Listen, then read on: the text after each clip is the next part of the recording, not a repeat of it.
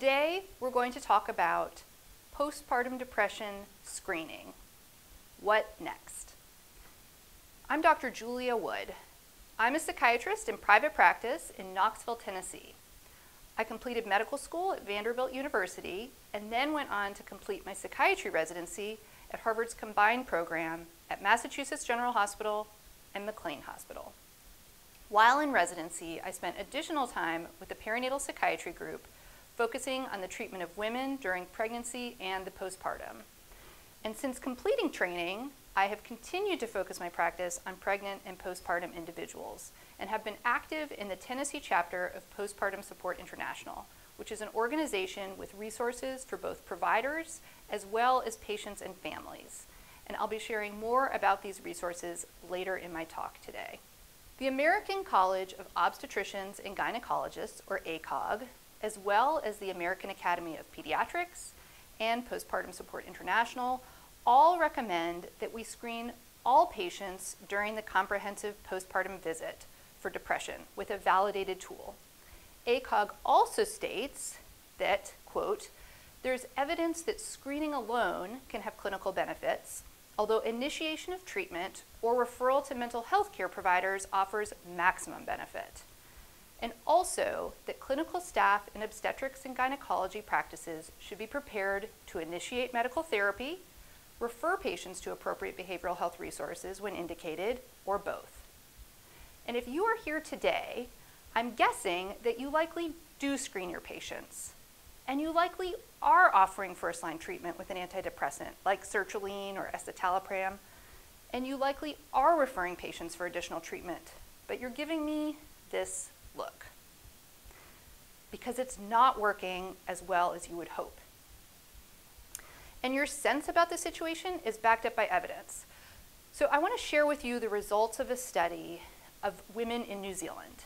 Now this study involved 400 women, but for the ease of wrapping our heads around the numbers, I'm going to extrapolate the data to 1,000 women. So this study screened women during the postpartum period for depression and offered patients free treatment via therapy. So let's take a look at the 1,000 women that they screened. 130 women screened positive for depression. This is 13% of women, which is about what we would expect. Unfortunately, of these 130 women who screened positive for depression, less than a third of them, in other words, 40 women, agreed to be contacted. Now, this was a psychotherapy study, so perhaps women didn't want to engage in therapy as treatment, or perhaps they didn't want to enter a study where they might be randomized to a less effective treatment. But this one third number is in line with other studies.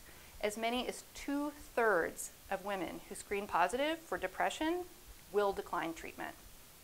So in any case, of the 40 women who agreed to treatment, only about half of them, 18 women, attended the initial assessment. And of these, only five actually entered the study and started treatment. So again, of the 130 women screening positive, you get five. So just 4% of women entering treatment in this study. I know that you are here because you want to do better than this. So today we're going to talk about three things. First, we'll cover the why and the how of screening. Then we'll talk about systems that do work. And finally, we'll talk about what you can do today to help your patients. So first, the why and the how of screening. So why do we screen?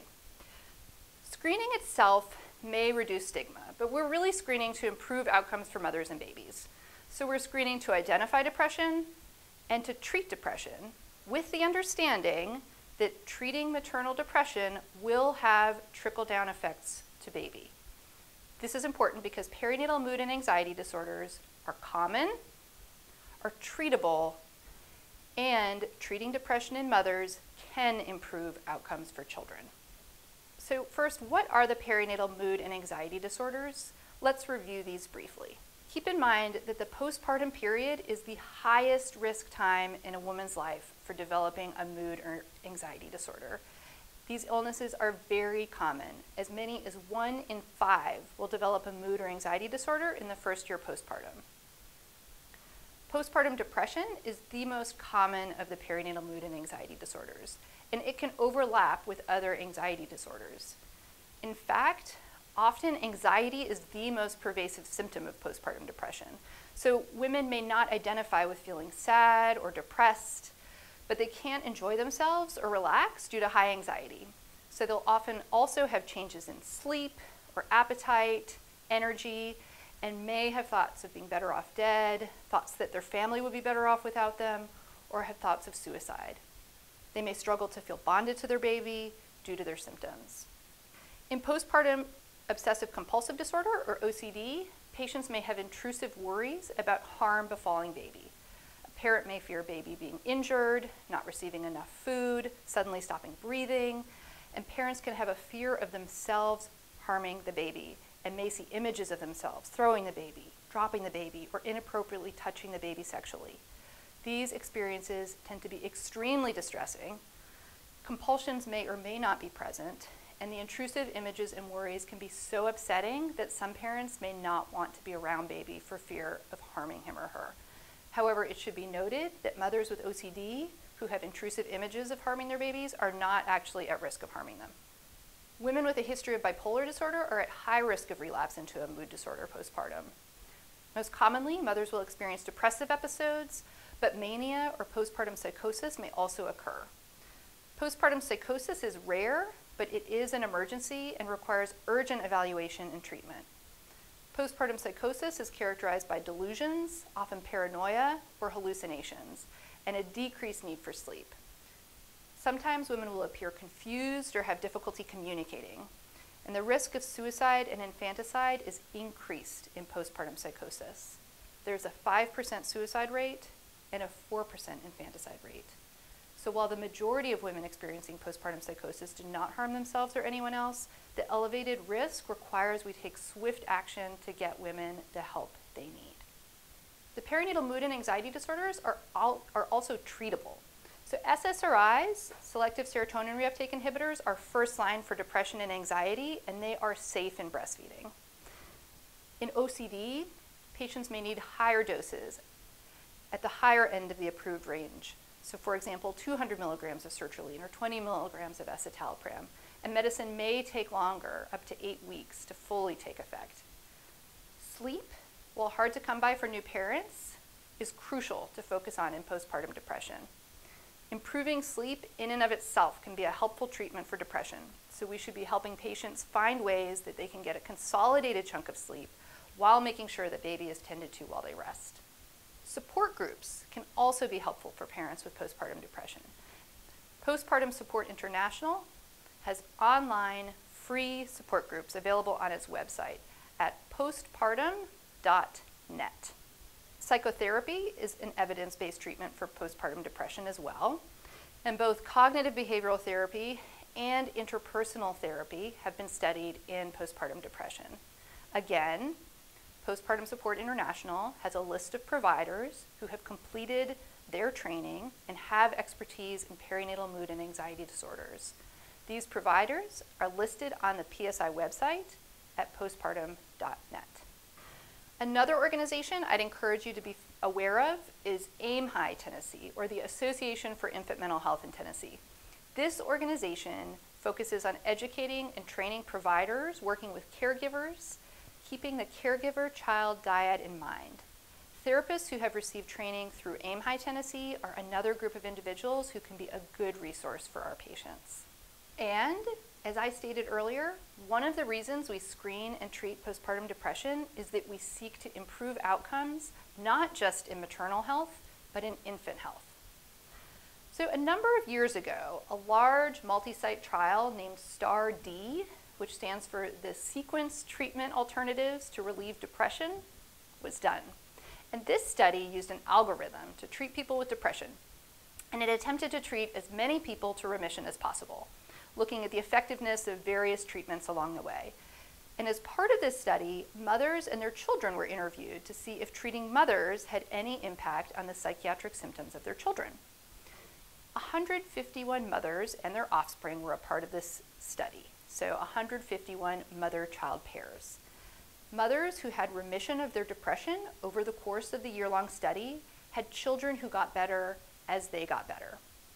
and children of mothers who did not have remission of illness had no improvement in their psychiatric symptoms, suggesting that in this study, simply treating mothers resulted in improvement in the outcome of children.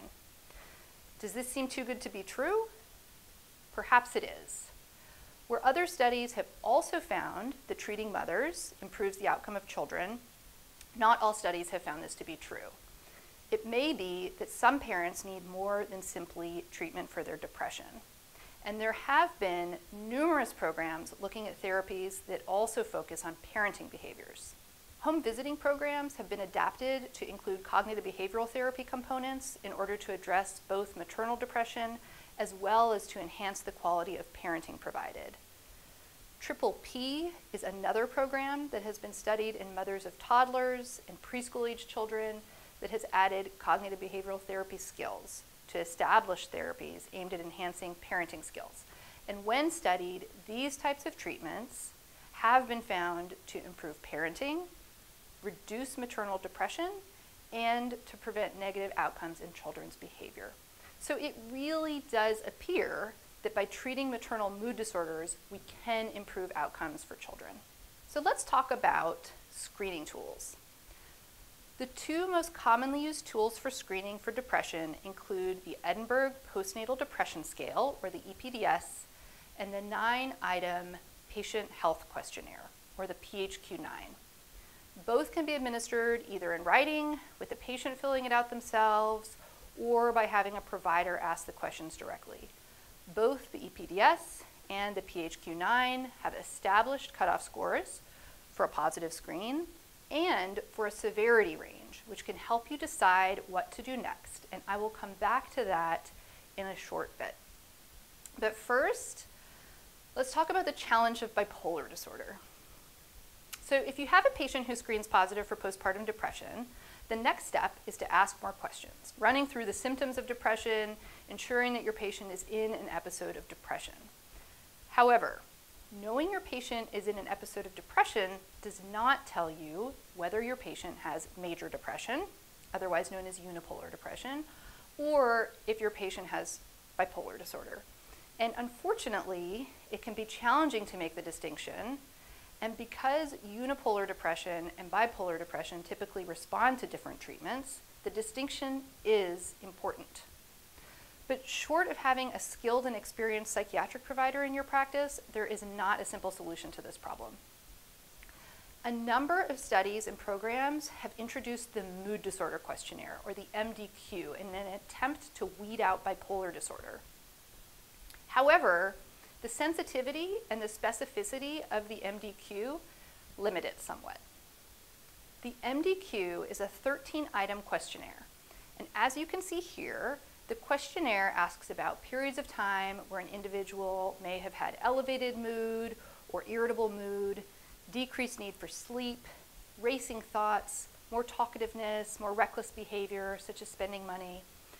A cutoff score of seven plus an answer of yes to question two, which basically asks if the symptoms occurred at the same time, as well as an indication that the symptoms cause moderate to severe impairment is a positive screen on the MDQ.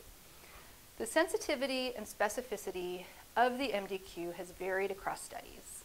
In primary care settings, it has often be found, been found to be more specific than it is sensitive, as you can see here. Lowering the cutoff score, of course, increases sensitivity, but then it lowers specificity.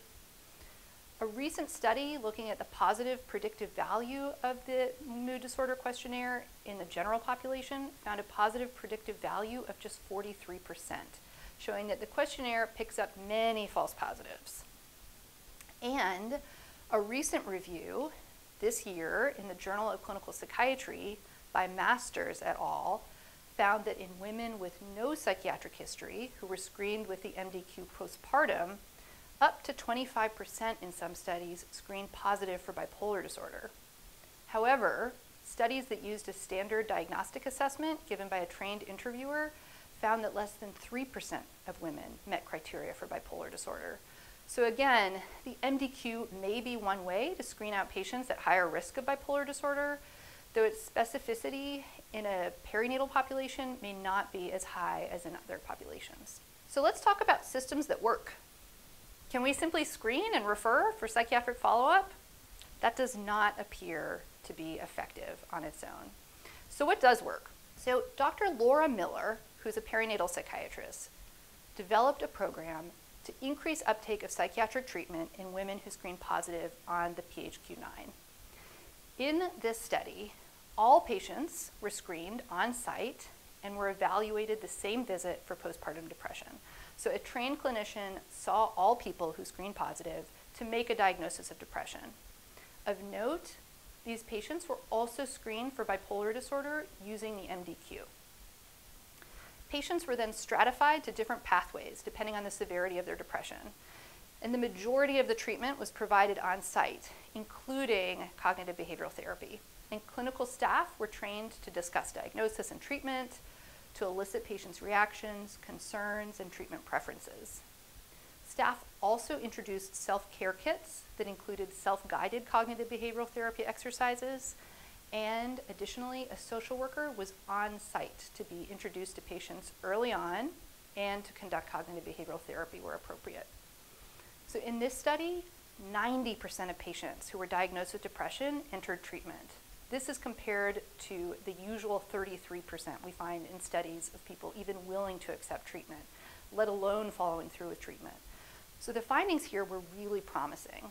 Of course, such a program is resource heavy, and many states have developed programs to support OB providers with diagnosis and treatment patients with depression during pregnancy and the postpartum. So 14 states now have perinatal access projects, which range in the way that they provide treatment. Massachusetts has a program called MCPAP for Moms, or MCPAP for Moms.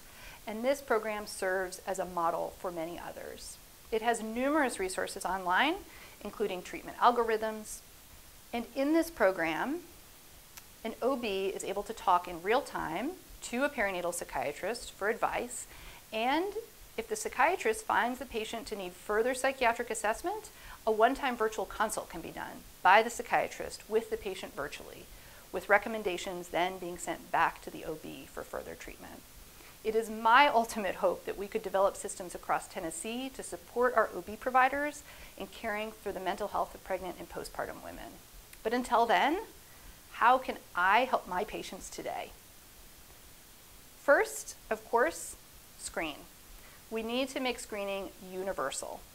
Ideally, once during pregnancy and at six weeks postpartum, two weeks for people at high risk. Every practice needs a system to manage positive screens. A positive screen should be addressed on the same day as the screen is done, and a clinician should make further inquiries to make a diagnosis of depression, then discuss treatment recommendations, ideally based on severity of illness, as was done in Dr. Miller's study. So let's come back to that study and I'll share what was recommended for patients based on severity of symptoms. So in Dr. Miller's study, patients with subsyndromal symptoms, so less than the mild category, were provided with printed materials that focused on self-guided cognitive behavioral therapy and self-care. Mild depression was treated with medication as well as the printed materials. Moderate depression was treated with medication as well as cognitive behavioral therapy, which was provided in that study by a therapist on site. These patients were also provided with the self-care materials. And severe symptoms or a positive screen for bipolar disorder were treated with medication off-site by a psychiatrist or a psychiatric nurse practitioner as well as with cognitive behavioral therapy on site. So clearly, some patients you simply will need to refer out for treatment due to either the severity of their illness, uh, or their illness history. Please keep in mind, women with a history of psychiatric treatment are more likely to follow up with an outside referral. It is your patients without psychiatric history or previous treatment who will be the most important to try to capture in your office or to really work with to overcome barriers to seeking treatment offsite. So as much as possible, start treatment in your office. Your patient has formed a bond with you and your clinical staff over the course of pregnancy, they are more likely to listen to you and feel that you care about them than they are to listen to someone they do not have an established relationship with. And in addition to recommending medication, you'll want to tell your patient why you recommend this and what to expect in terms of side effects, benefits, timeline of when things might get better, and what to do if they have side effects, and what other options are available if they don't like the option that you have offered. So, what I tell people is this is depression, and it can get better. Your symptoms are significant enough that I think that the best thing to do is to treat with medication. It can help you feel better faster. And whatever medication you take, I am not asking you to take this for the rest of your life. If it does help and you tolerate it well, we usually ask you to continue medication for some time between six months to a year after you feel better. And when medication works, like it's supposed to, people say that things just roll off them easier or that they feel more themselves. In terms of side effects, the most common side effects people have are nausea, sometimes diarrhea when you start on the medication. If this happens, it tends to get better within a few days, up to a week. It's also possible for this medication to cause weight gain, though most people do not gain large amounts of weight on these medications. And if you do start to gain weight on this medication, I want you to let me know because I don't want you to be gaining a lot of weight on this. If medication is not doing what it's supposed to do, or if it's causing you side effects that are problematic, we can talk about that. We can talk about other, other options. We can stop the medication. If you have the resources, following up with a phone call a few days after the appointment to check in to see if patients have picked up their medicine, started medicine, or having any issues can be really helpful. In my office, we have the ability to securely text patients, and this has been a wonderful way to check in with people to see how they're doing, to provide cheerleading, reassurance, or further resources. And of course, questions may come up about medication as you're treating patients. So for example, a patient may have taken a medication in the past and want to restart it, but you may not feel as if you know enough about that particular medication to do so. It could be a true gift to your patient to restart a medication that has been helpful for them in the past and to bridge them to an appointment with a psychiatric provider who can continue to treat them. Postpartum Support International has a consultation line for prescribing clinicians to call with questions about medication during pregnancy and the postpartum period. This service is free of charge. And while it is not set up as a hotline, like it is in the Massachusetts program, you will be able to speak with a perinatal psychiatrist within two business days and essentially get a consultation on your patient. Medication is, of course, just one piece. It's important to share other resources such as psychotherapy, support groups, and to stress the importance of sleep in recovering from an episode of depression. While you may be limited in your ability to create some systems of care, perhaps you could increase the patients you help on site by hosting a support group for postpartum depression. Perhaps your hospital could host one, or maybe you could partner with Postpartum Support International to find someone to hold a group and offer space for free. The more we can do to offer treatment and support where people are already coming for care, the better. And the more we can keep the door open for those who may be initially reluctant to accept treatment, the more likely they will be to ask for help when they're ready. So, in that vein, patients can be provided with resources as well. Postpartum Support International has a warm line that people can text or call to receive support or to be connected with local resources. Please share this number widely with your patients who screen positive for depression. Even if they're not ready for treatment today, hanging on to that number may allow them to have somewhere to call when they are ready. So, in closing, I want to ask you all, in addition to screening, treating, and referring your patients for care, to advocate for more robust systems in Tennessee. There are numerous examples of state access programs that we could build off of with the proper funding and leadership. I look forward to a time when we can all provide our patients with more comprehensive and coordinated care for the treatment of mood and anxiety disorders. Thank you so much for your time today.